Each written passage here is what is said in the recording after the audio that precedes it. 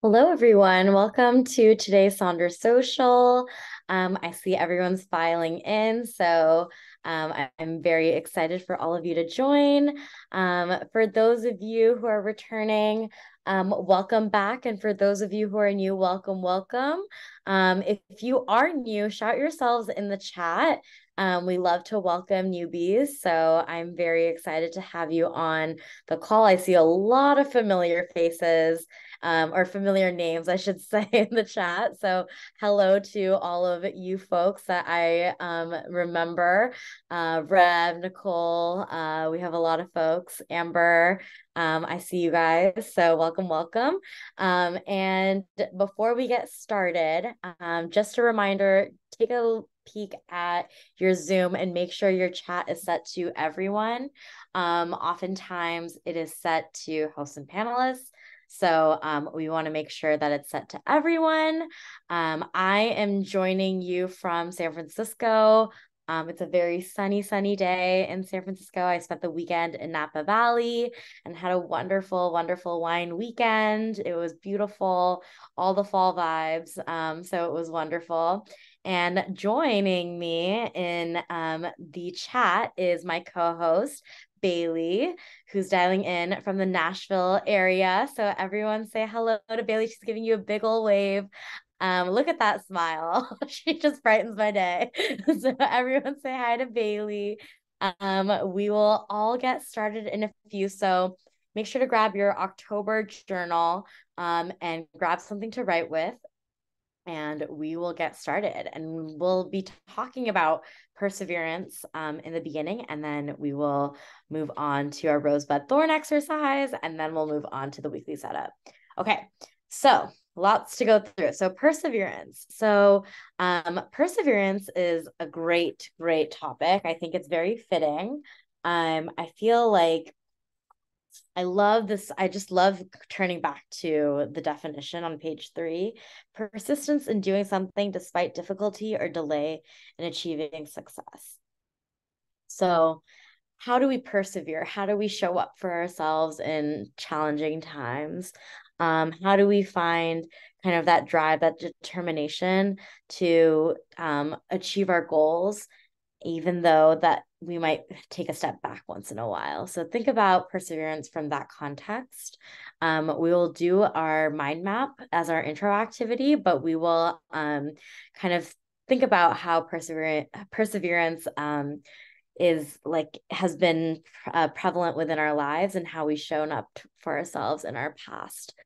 Um, so um, we will now move on to the community guidelines. I'm going to quickly run through these. Um, so just remember be kind and courteous to yourself and others. No promotions or spam. Respect everyone's privacy. Um, no hate speech or bullying. If you have any product or accessory questions and customer care inquiries, uh, email hello at silkandsonder.com. And just remember that these Sonder socials are a way for us to connect with each other and really get to know one another. And I know I tend to be very vulnerable in these uh, Sonder socials. So I encourage you to also, if you feel comfortable, do the same. Um, and uh, yeah, I'm very excited to get started. All right. So, um, for the agenda, we'll walk through the perseverance mind map. And if folks um, haven't come to the past weekly setup socials, that's totally fine. Um, I uh, will encourage you to just focus on this week's prompt um, and focus area, and you can always revisit the past two weeks if you feel inclined. Um, and then we'll move on to our rosebud thorn, um, and then we'll obviously dive into our weekly setup before we close out the social. All right. Okay. So for the perseverance mind map, either find your mind map from last week if you've already started it. And if you haven't, go ahead and turn to a blank notes page or a scratch paper or whatever, um, wherever you have like a blank page so you can start creating your mind map. Um, so there's five different weeks, and we are on week three, believe it or not. I know October is zooming by. So for this week, we're going to focus on how perseverance means how did it feel historically so this is the time where we kind of think back on our past and think about how we've persevered historically um, think about a challenging moment or a time where you really showed up for yourself and had that determination and that belief in yourself that kept you going. Um, one of the moments that pops in my mind is when I struggled academically in um, college and my undergrad in my sophomore year. Um, and despite my best efforts, I just did not do well in the class. And it really threw me off. And I considered not um, just maybe taking some time off from school or refiguring out what to do, but instead I doubled down. I just decided to change my major, add an engineering minor, um, and I was like basically doubling the workload actually. And um, I really showed up for myself. And that's what perseverance means this determination that you know you are good enough and that you can you can always just power through. Um, so it's always nice to remember those moments that you showed up for yourself. So I encourage you to um, take some time. I'll give you a few mi- few minutes to um, reflect on how you've persevered historically and how did it feel. And we'll regroup in a few minutes.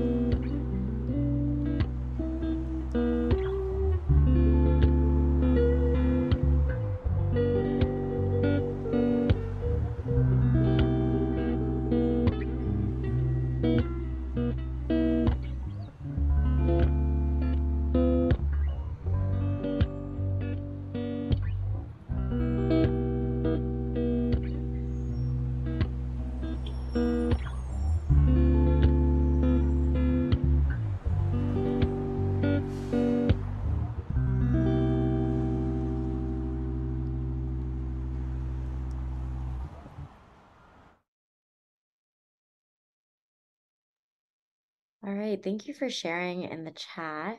um, I know perseverance can be a tough topic, um, but it's all about kind of how we interpret the um, word perseverance. I love the way Cheryl um, defined it.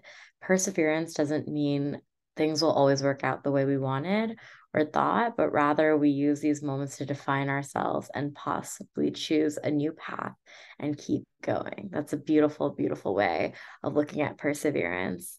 Um, so, thank you all so, so much for kind of reflecting on what perseverance means. Um, there's just a lot. I know this this is a great, great um, uh, theme and it is it can be overwhelming to think about the moments we had to persevere but um, it should just make you reflect on the strength that is within you um, to keep on going. So um, let me um, now move to rosebud thorn um, so for this rosebud thorn we are on let's see page 44 for this rosebud thorn. So um, turn to page 44. Um, and for your rosebud thorn, um, your rose is going to be something that's going well, a highlight or something that you're grateful for. Um, your bud is something that you're looking forward to, an emerging opportunity. Um, and your thorn is um, a challenge or something that you've been struggling with. Um, so I will start. I will. I always like to share my rosebud thorn with all of you. Um, I will start off with my thorn. So I had a um, pretty serious relationship, and I went through a really unexpected and difficult breakup last week. Um, it was over the phone. It was not in person. It was kind of out of the blue. Um, and then we just haven't spoken since, and it was very, very hard. And really really tough. I don't think i've been in that situation um like ever. And so it was really blindsiding really tough um a huge challenge and not something that was easy to go through. Um and then a bud is I am kind of just going forward. I'm going to commit to my thank you guys. I know it is not easy to go through. It's never easy. Um, but my bud is I'm going to focus on myself and what makes me happy. And right now that just means just not really dating. I don't think it's like a good time. Um, and then my rose is I'm so grateful for my girlfriends. Um, they are so sweet. They've sent me these flowers. so I'm very, very grateful um, just to have people in my life that I can turn to in hard times. So I'll give you all some time to reflect on your rosebud thorn.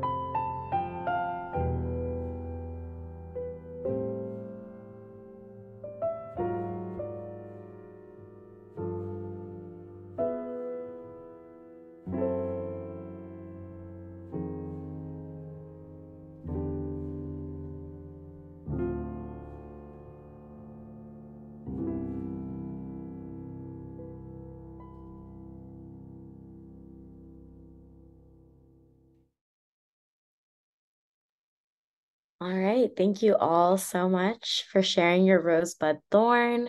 Um, even though those thorns can always serve as a challenge to us, um, it's important to remember that we also have things that are going well and um, just remember that life is about the ebbs and flows. So, and once again, thank you all so much for your kind words in the chat. That was very, very sweet. Um, all right, we will now move on um, to what we all came here for, which is the weekly setup. So um, we will turn to page 46. So um, go ahead and flip that page and we will start off with that first box. So um, this week, I want to feel. Think about as we reflected on our past week of our rosebud thorn. Um, think about how you want to feel this week. Um, so here is a feelings wheel. Um, but you can also see some examples here. Um, it doesn't have to be one word, it can be a phrase, it can be whatever you want to feel. Set your intention for the week.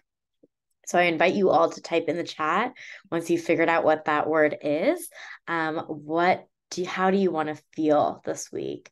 Um, I see strong, productive, happy, aligned, um, empowered, um, ready, healthy, satisfied, compassionate, prepared, sparkling, um, confident, empowered and appreciated, loved, um, productive, motivated, self controlled, accomplished, relaxed, intentional, um, not scared, inspired, satisfied, optimistic, balanced, like I'm making progress, um, restored and connected, abundant, uh, delighted, unbothered, like I'm showing up for myself. Love it. These are all such, such great intentions for the week.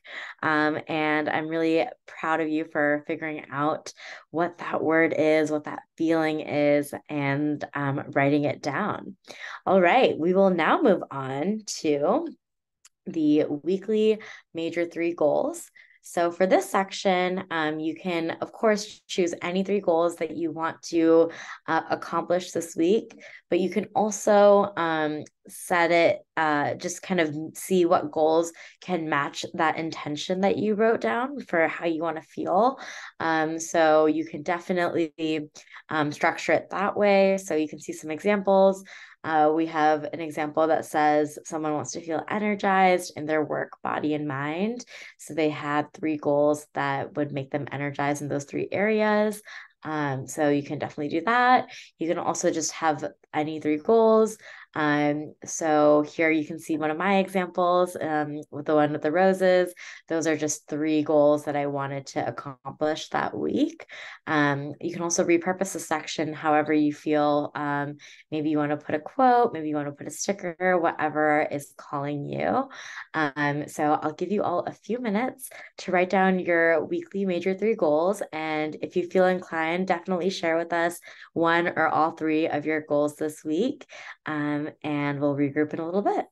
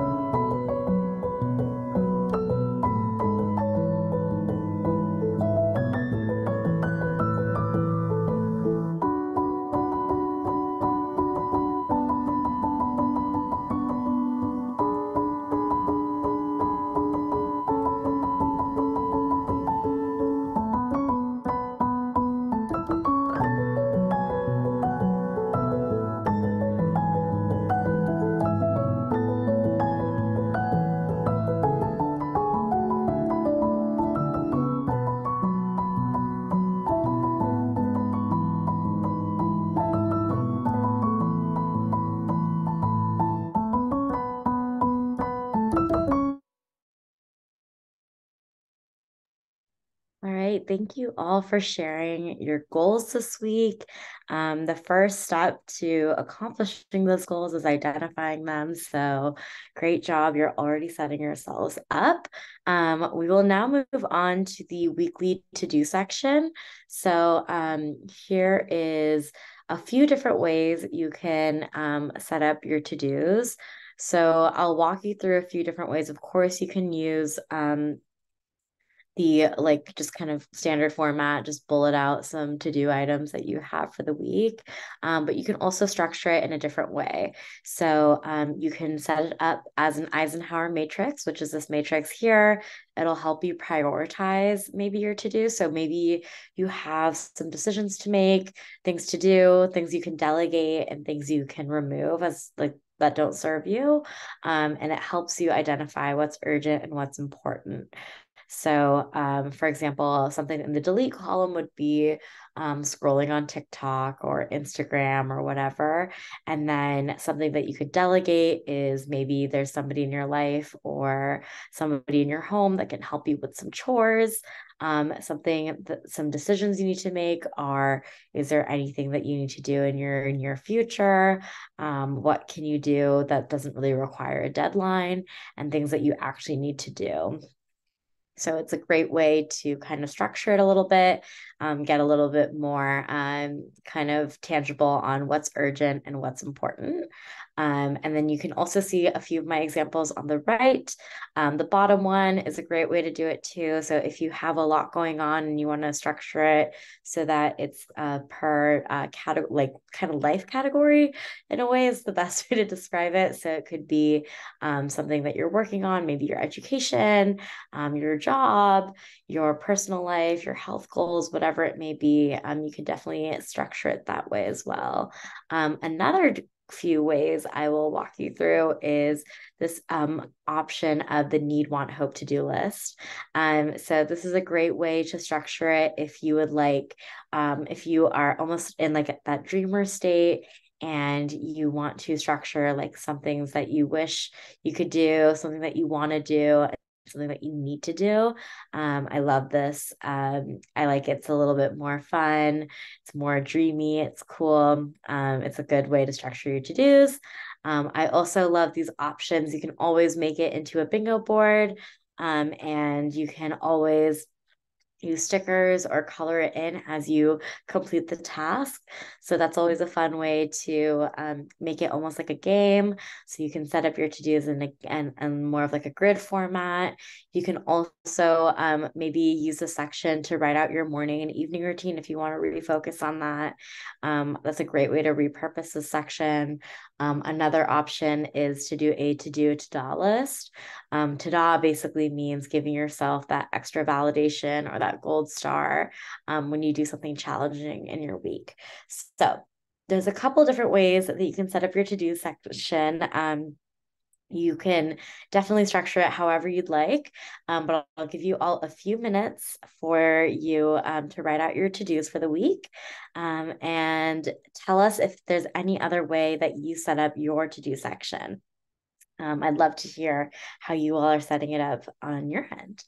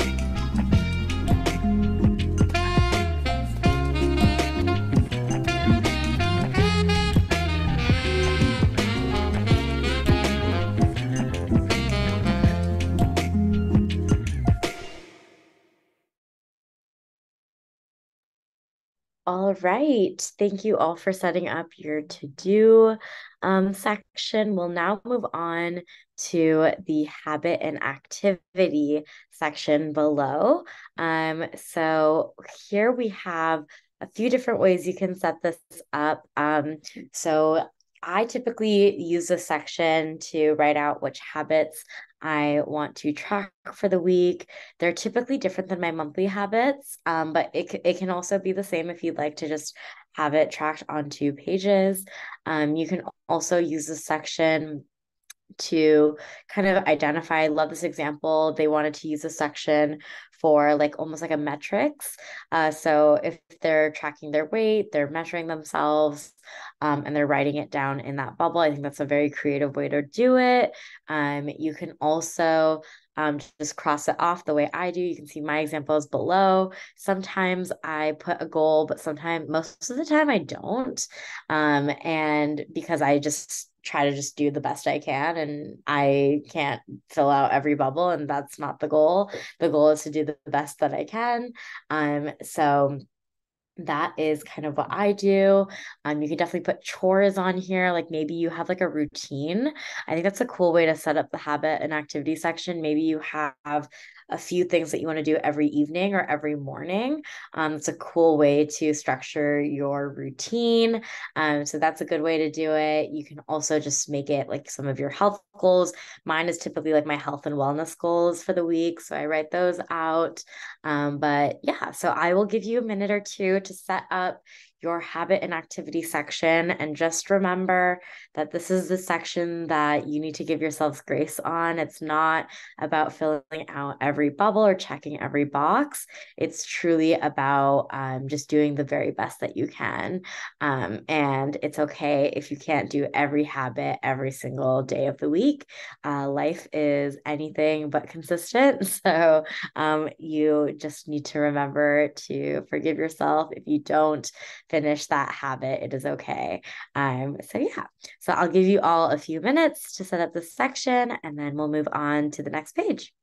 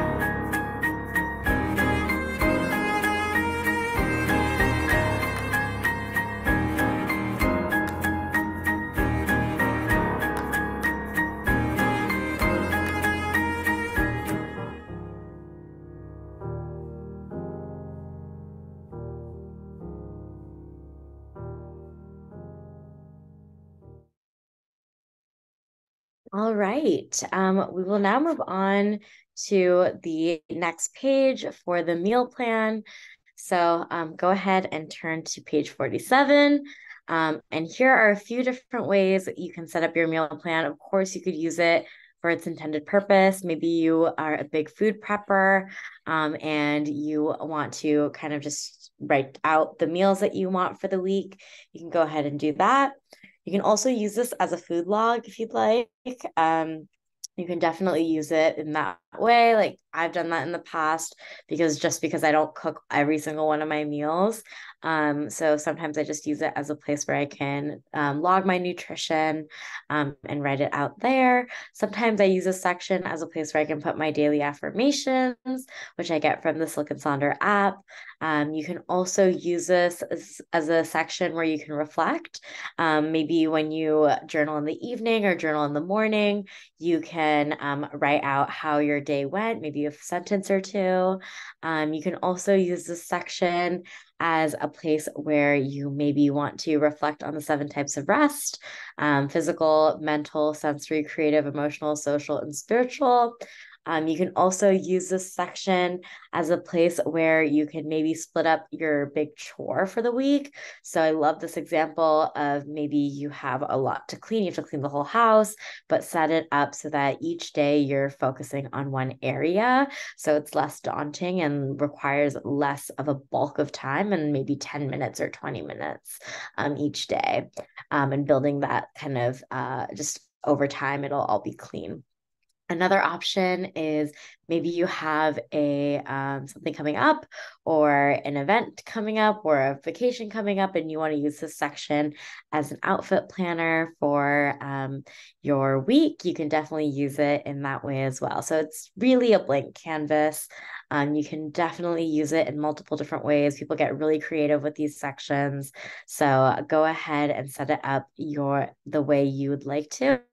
Um, so tell us in the chat if you have any other ways you're you're setting this up. Um, I think that's a great way. Um, just it's always fun to see how you all um, set up your meal plan section because I know it gets repurposed heavily. Um, so I'll give you all a few minutes and then we'll move on to the mind body health plan next.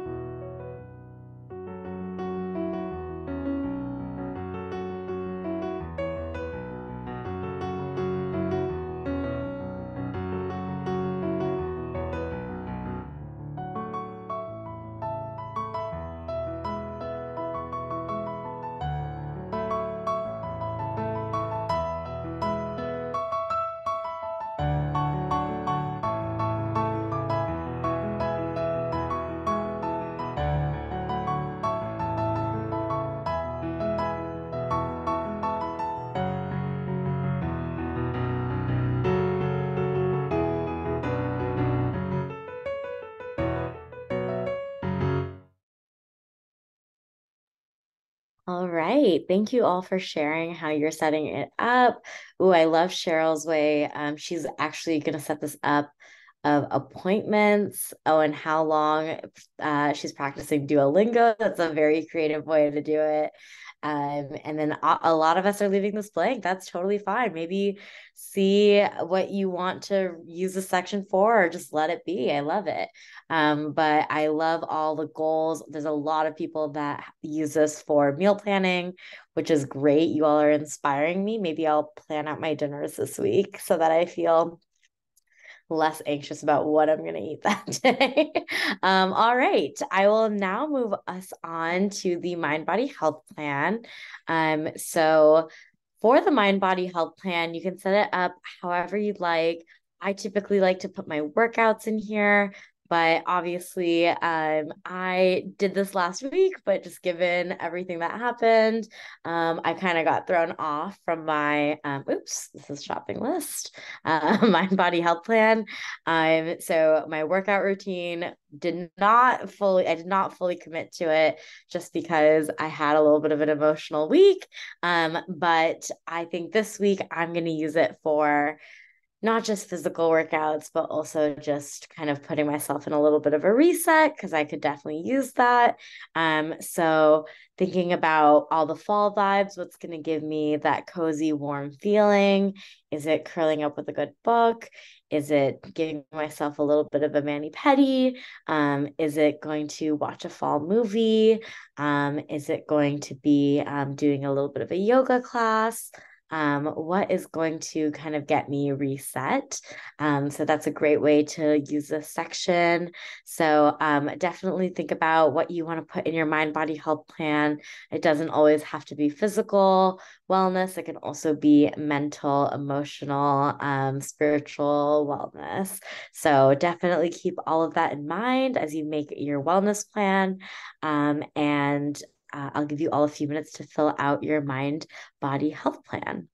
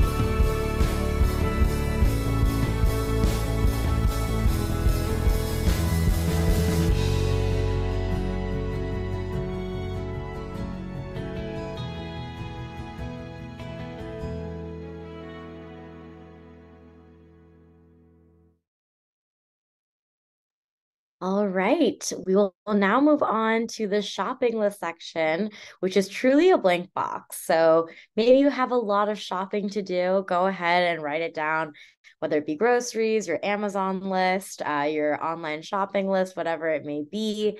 Um, but you can also use this as a um, true blank box. So maybe you want to add a little bit of reflection here. Maybe you want to put a sticker here, a quote. Um, you could also use a section as another bingo board. Um, you can use this section for chores. Maybe you have things that you need to do. Um, I've used this section all different kinds of ways. Um, so it's truly a blank box and it can be used um, however you'd like. Um, so think about how you want to use the shopping list section um, and go ahead and fill it out and tell us in the chat if there's another way that you like to you like to set up the shopping list.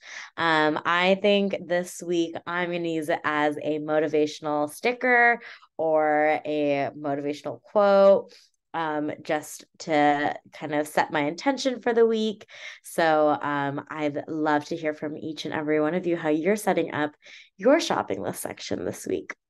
I'll give you all a few minutes and then we'll regroup for the I am loving section, which is remaining.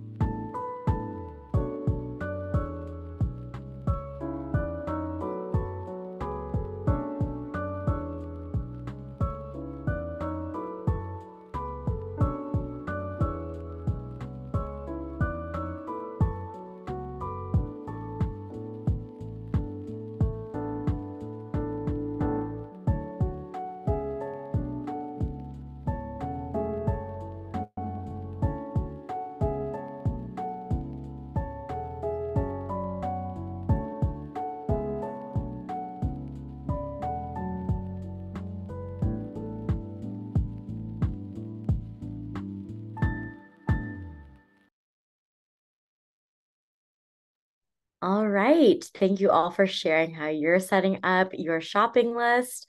We'll now move on to that last little box at the bottom, which is the I am loving section. Um, so maybe just close your eyes for a little bit, sit, roll your shoulders back, get comfortable in wherever you're sitting, um, and think about what you're currently loving in your life. Um, so I know I'm loving uh, just kind of having this time to reflect and just carve out what I really want to do without, um, you know, just focusing on myself this week and love that I have so many people in my life that I'm so grateful for. So um, that is what I'm truly loving. Um, and I'm also loving just being in uh, nature. It was so beautiful to be up in Napa this week. So this weekend, and see all the colored all the trees changing it's just so beautiful to get out so um, i would love for all of you to share i see um, so many people are sharing in the chat um, i am loving my spirit um, I am loving the beautifully colored leaves, sweet kitten cuddles, feeling more in touch with my feelings. I'm trying a new recipe each week. That's so exciting. Um, and loving the fall vibes, reading more, cooler temperatures, freedom. Um, all the one and a half year olds new words every day. That's so exciting. Um, exploration of wants versus needs. Um, walk away from what no longer serves me. I love that.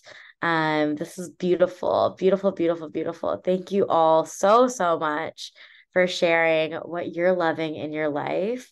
Um, and it's always fun to just get a glimpse of what is going well in your life, what you're currently loving. I feel like there's so many things that go on in our lives, but it's nice to reflect what we are truly, truly loving.